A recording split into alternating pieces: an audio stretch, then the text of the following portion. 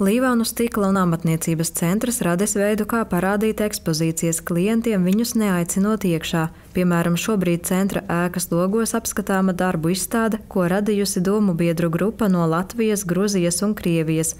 Izstāde logos skatāma arī diennakts tumšajā laikā, kad logi tiek izgaismoti.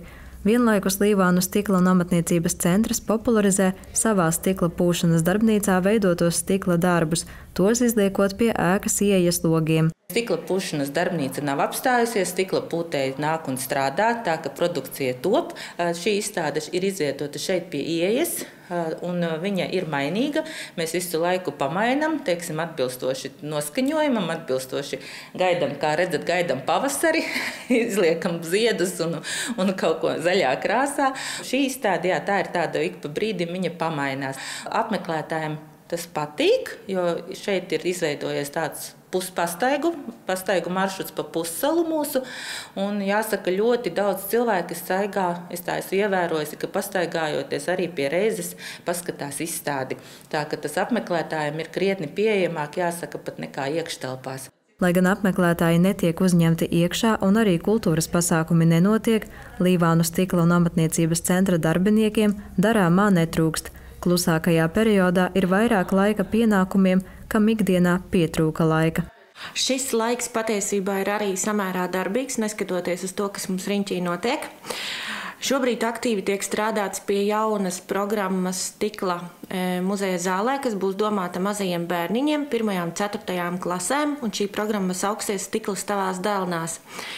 Tā nebūs parasta programma, tā būs programma, kurā vairāk piedāvāsim bērniem pašiem darboties un stiklu izzināt pavisam savādākā, vienkāršākā veidā, varbūt mazliet rotaļas veidā. Vēl centra darbinieki veic inventarizāciju krājumā, veido jaunas izstādes, vāc vēstures materiālus, kā arī uzrunā savus klientus, izmantojot sociālos tīklus. Mēs esam aicinājuši cilvēkus arī sniegt liecības par Līvānu stikla fabrikas laikiem, par savu darbu tur. Tāpat mēs arī mūsu Facebook mājaslapā mums ir divi profili. Mums ir Līvānu stikls un Līvānu stikla un amatniecības centrs. Un tur mēs Līvānu stikla profilā mēs katru trešdienu cenšamies ielikt kādu ziņu, kādu stāstu, kā teiksim, tādu kā laika mašīnu, kad atgriežamies pagātnē un paskatāmies, teiksim, ko tad mēs tika ražots, kas tika ražots Līvānu stikla fabrikas laikā laikā.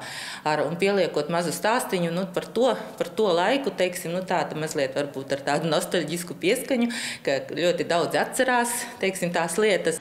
Sociālajos tīklos tiek rādīts arī tas, kas notiek centrā šobrīd, proti, kā strādā stikla pūšanas darbnīcas meistari Aleksandrs Logvins un Valērijas Veiss.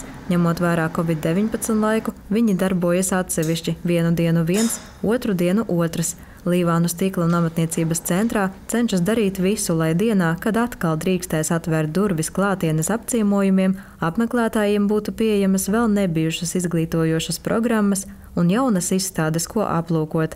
Sandra Paigļkalne, Kaspars Daņļevičs, Vidusdaugavas televīzija.